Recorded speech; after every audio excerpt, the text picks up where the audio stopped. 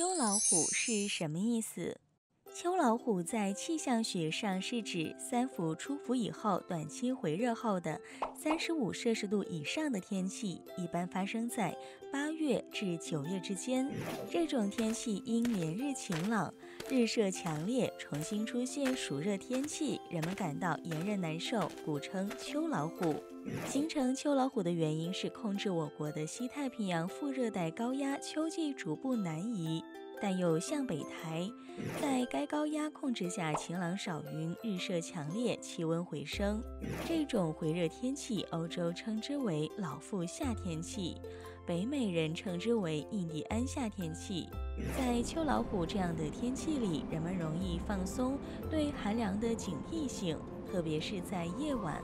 可能上半夜时还是闷热难当，但下半夜或凌晨时就有可能转凉，因此早晚要注意加衣，不要赤膊露体，防止受寒。